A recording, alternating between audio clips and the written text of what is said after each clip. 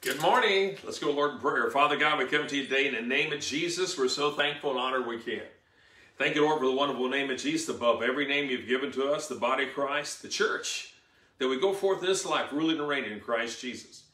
And Lord, pray for our nation in the name of Jesus. We speak peace to our country, decree and declare our, our nation, United States of America, is a righteous nation, cleansed and covered by the blood of Jesus.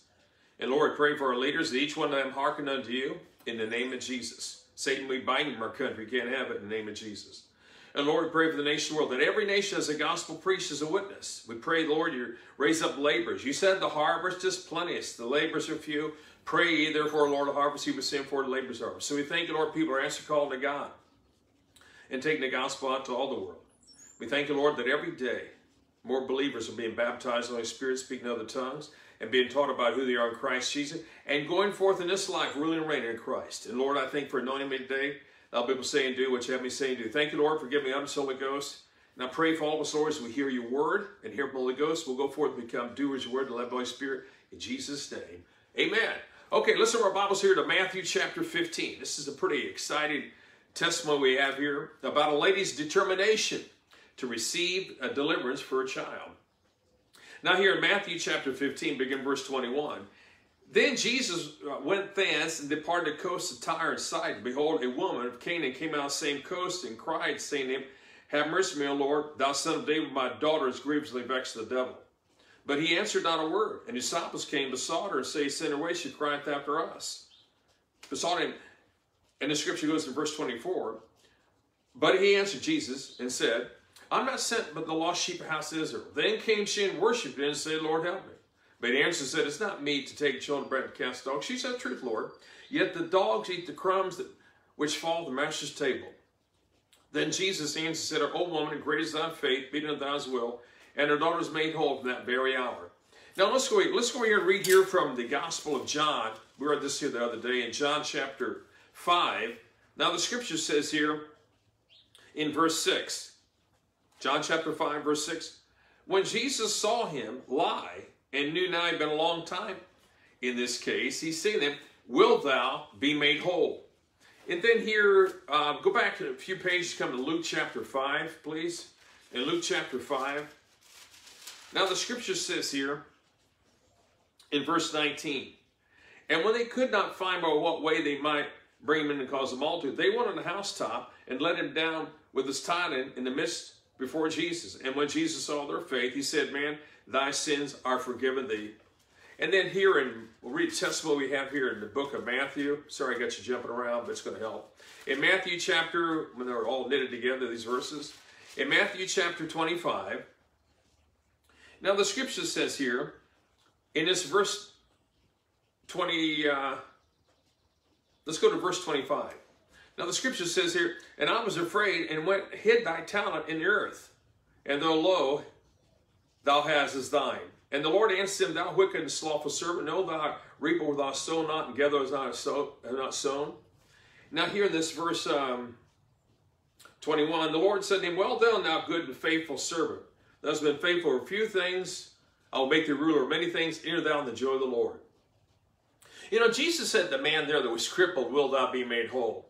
You know, it's kind of shocking, you know, when you first hear scripture like that, you think, well, you know, wouldn't everybody want to be healed? You know, I noticed that in ministry and being a Christian that, you know, everybody wants to be successful that's in the body of Christ. You know, I, was kind of amazed when I first heard 3 John verse 2, where it says, Beloved, I wish above all things that thou mayest prosper and be in health, as the soul prosper. I, I, was thrilled with that. I mean, you know, at the time, and I don't mean this disrespectful, but at the time, I just recently got saved. I sort of just felt lucky to be saved. I didn't know there was any benefits. And when I first heard that scripture, I was thrilled. I mean, inside, my, it was just like I was getting turbocharged with a verse of scripture. And I began to share that with all kinds of people. People saved, people weren't saved. Just thrilled to know that God wished above all things that I prosper. Scripture said, beloved. I wasn't too sure if I was God's beloved. So my Bible I had then, I put a line there word beloved. I put my name beside that verse, Jesse. I wish above all things that thou mayest prosper and be in health is thy soul prosperous. So I started sharing that with people, and I got all kinds of flack from people. You know, they weren't real thrilled about learning about God wants to be prosperous. But nevertheless, I mean, one time on my radio program, I teach, taught on that verse of scripture for over a month. In fact, it started out, it was one a month, it actually went a whole year.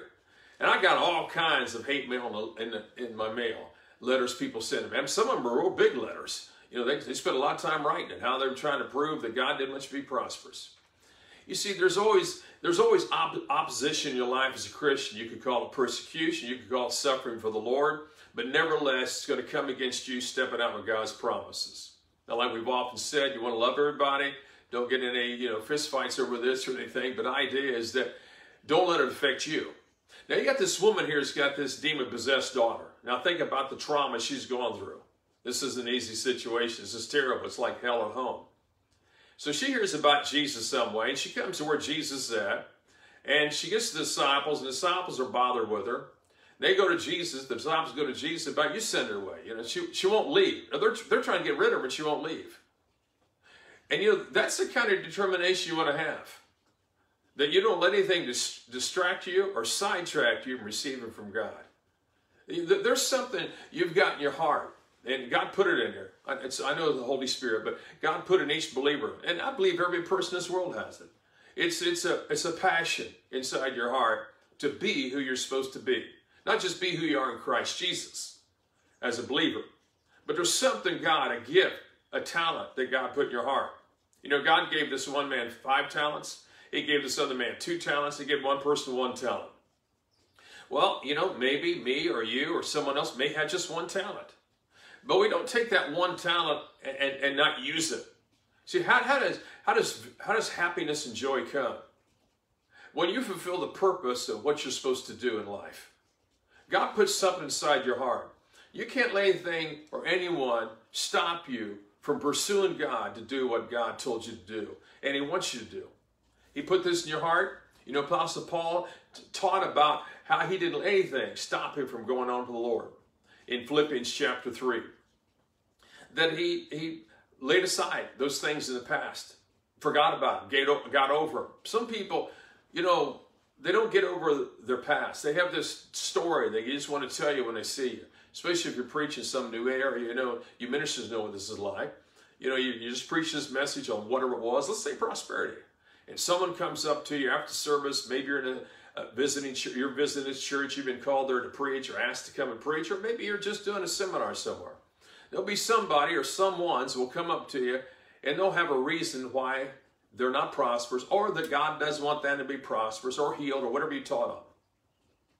And so it's just like, uh, you know, they, they carry this spirit with them. They don't have a spirit of faith, but they have a spirit of doubt and unbelief.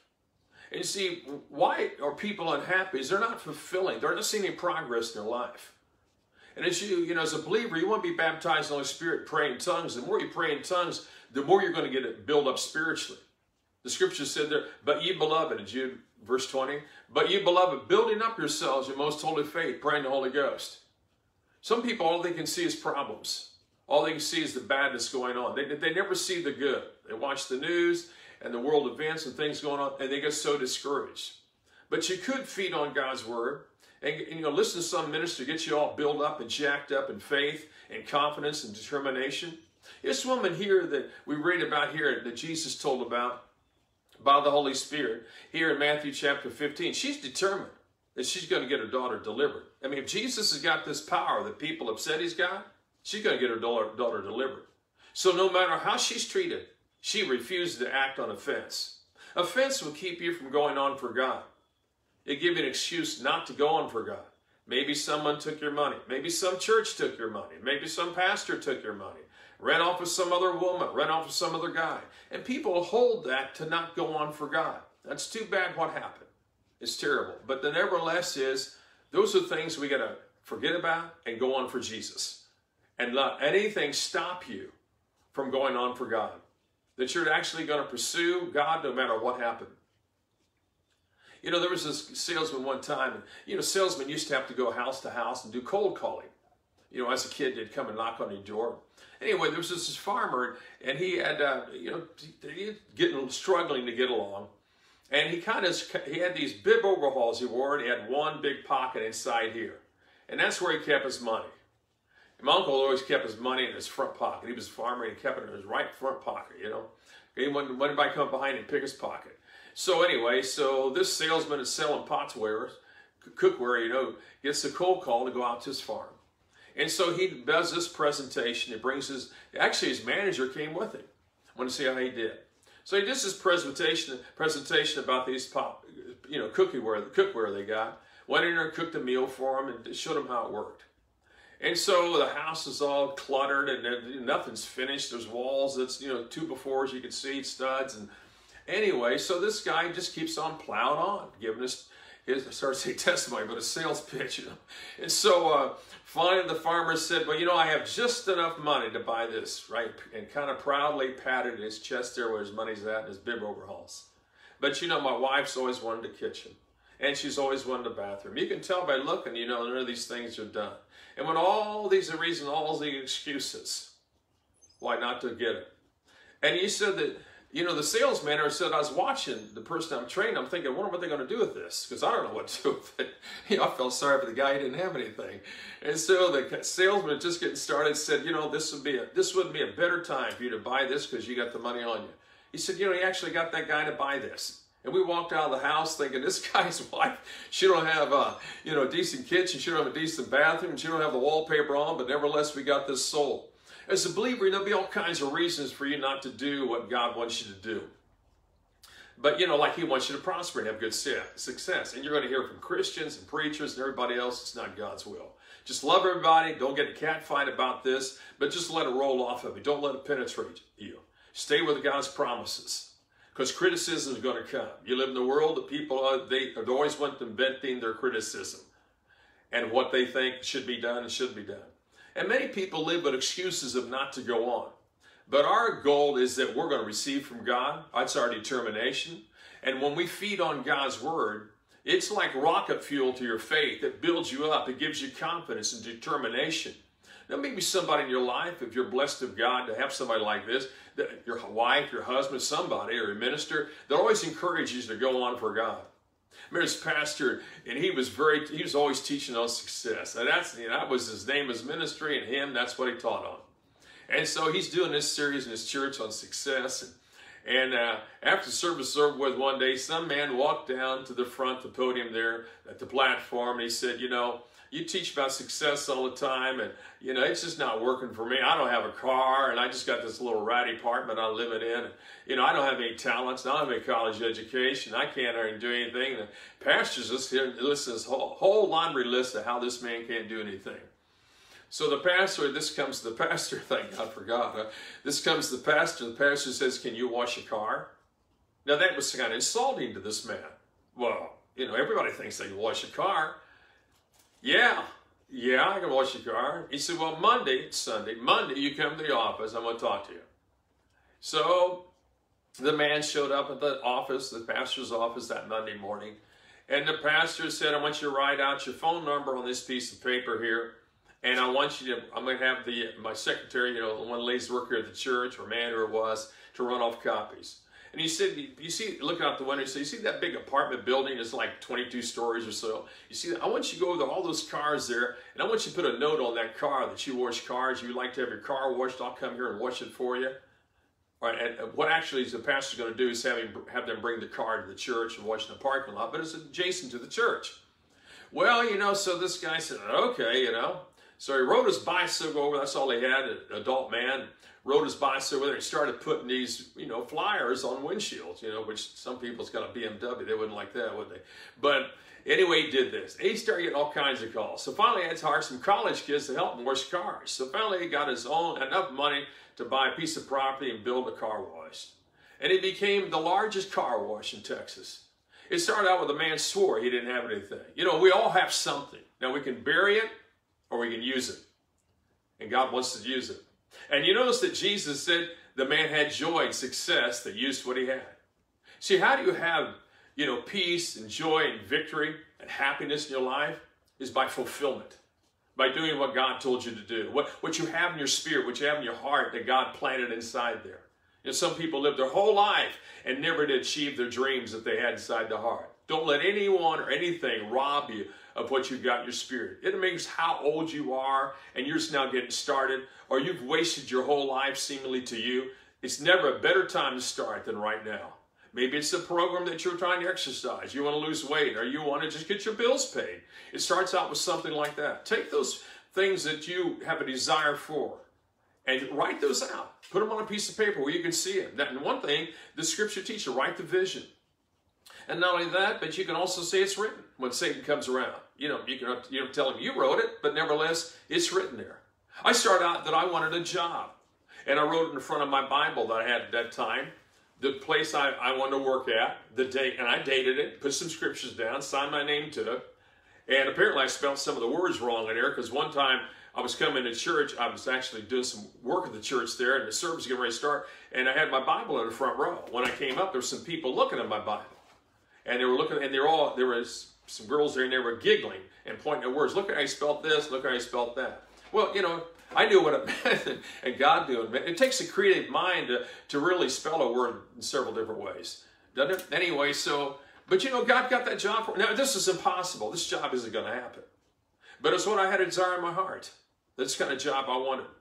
And you know, God put that there. And he, he let me keep that job by His grace and mercy until I went to Bible school. Now, there was all kinds of problems associated with every day. And there was times you just want to walk away from the job because of the problems. You know, the maybe some of the stuff wasn't true. And plus, I got in trouble for things I did wrong. But nevertheless, God has mercy and grace, and we call upon God, and He helps us get out of these situations. But this woman has got this daughter that's all messed up by the devil. She's not going to take no for an answer. She has this determination, determination and confidence about her. She's going to get this. And see, this is what Jesus likes to see in your life. He wants you to see that you're so determined you're going to receive those promises of God's Word. There'll be everybody seemingly sometimes that come against you. But you don't let that affect you. You don't let that penetrate you because you know in your spirit that this is God's word. This is what God said in His word. He wants me to prosper. He wants me to have good health. If He didn't want us to be prosperous, then we wouldn't be an heir of Abraham's blessing. God wants us prosperous. And you're looking through the Bible and find people that didn't prosper. You can look through the Bible and find people that did prosper.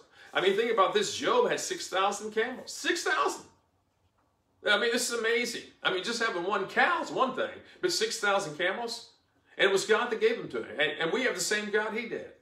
But we've got a better covenant, and we've got all the promises of the Old Testament and all the, all the new. We have a better covenant established on better promises. And Jesus sees this man that's been crippled. And he said, Will thou be made whole? You see, you have to learn as a Christian, you're all excited about God's word and you're thrilled about prosperity and healing and health and speaking in tongues and everything else. And you come across some other Christian and you just unload on them. You're, you're, so, you're like a little puppy. You're so happy.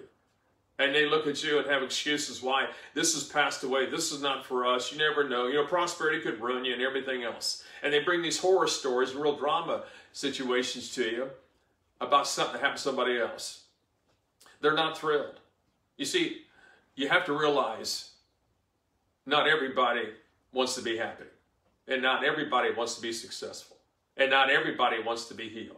And you know, if you've witnessed, not everybody wants to be saved. So, what can we do?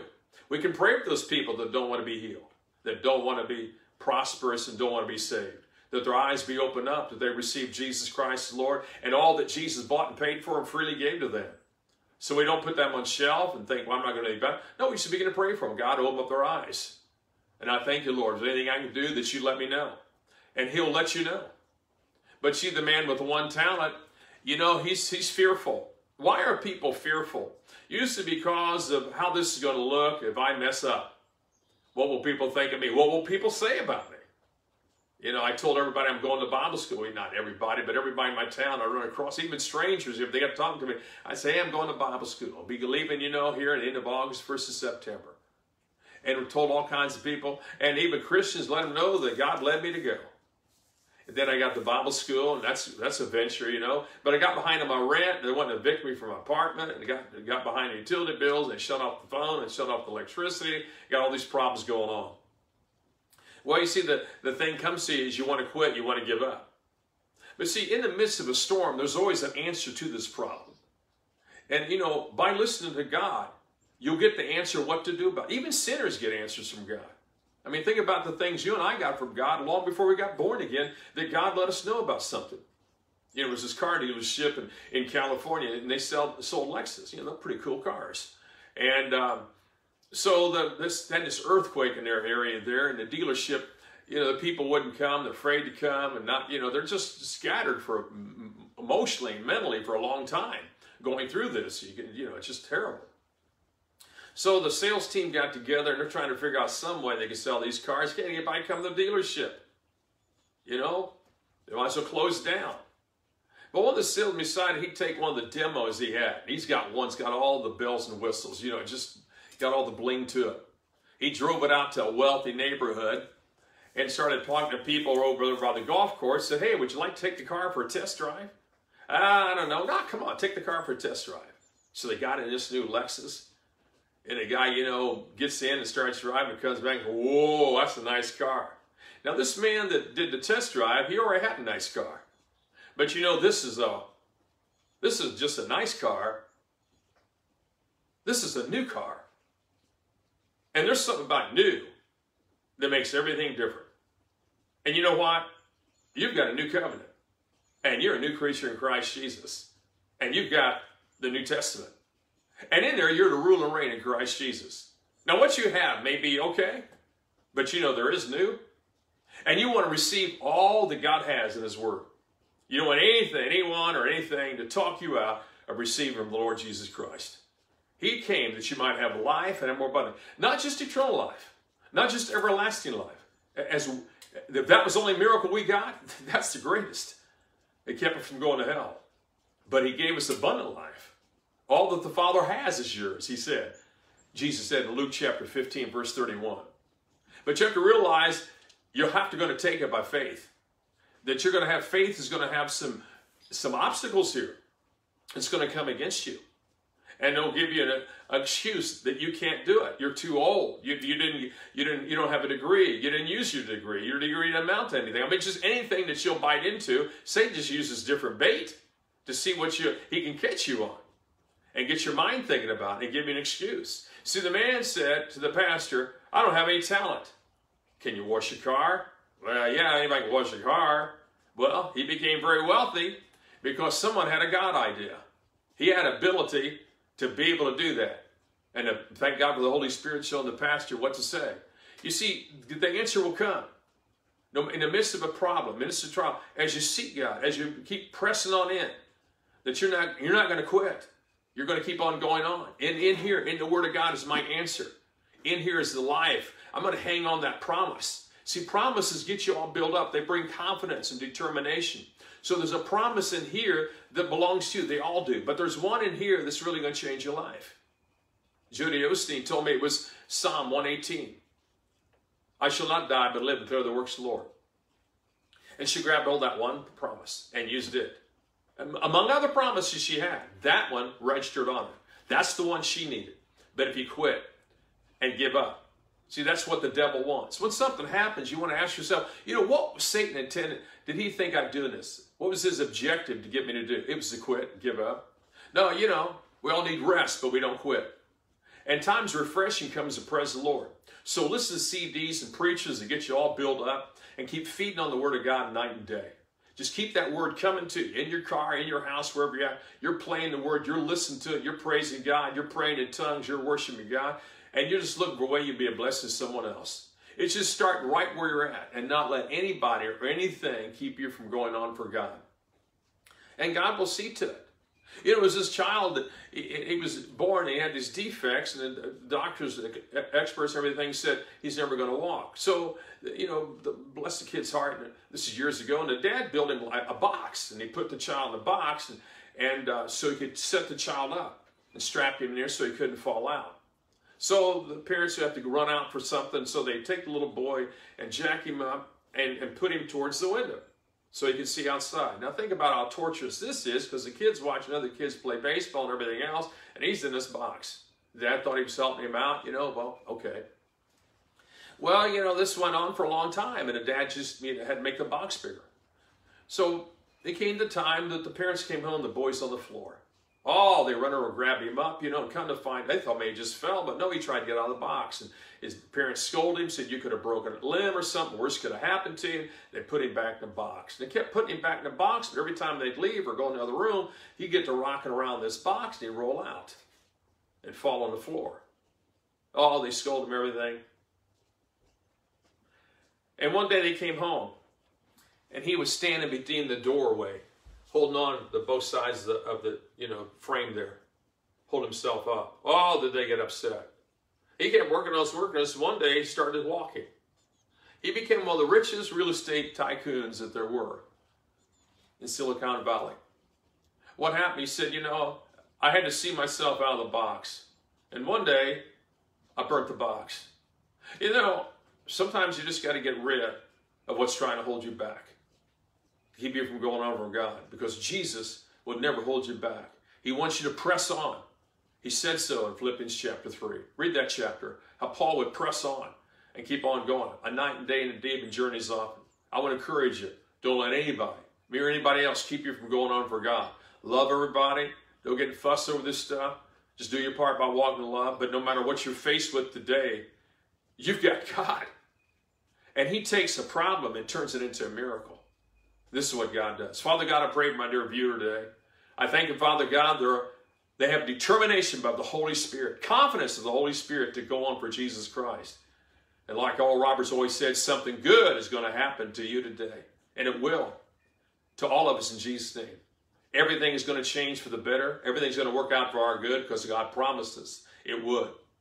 So we thank God for Romans chapter 8, verse 26 through 28. We stand upon that in Jesus' name. And Lord, I pray for my dear friend here today. I thank Lord they're healed and delivered in Jesus' name. I pray for my dear pastor, people I know and people I don't know. I thank you, Lord, you're ministering in their life in Jesus' name. And their ministry will be far greater than ever was before. And we give you all the praise and glory that you build the church a triumphant church, a more than conquerors in Jesus' name. And I speak peace to our country in the name of Jesus. Amen. Hey, if you haven't got our website, I would encourage you to do so and get our healing scripture sheet, divine healing scripture, other things. Uh, you know, ministries, thank God for all the ministries they have today. They have excellent websites and YouTube and everything else to be a benefit to you. You're going to find a ministry that really gets you built up in God's Word and keep feeding on those messages that there is. If you have a prayer request, you go to our website at jesserichministries.com you know, there's like three questions there. Your email address, obviously, I can email you back. And also, if you're not getting the daily devotion, a teaching from me, uh, if you'd like to get it, then sign up for the daily devotion. It's all free. If you give me your, your cell number, then I can text you the daily devotions, or excuse me, um, daily messages I send out in the morning. If you'd like to have it, it comes out like 7 o'clock in the morning.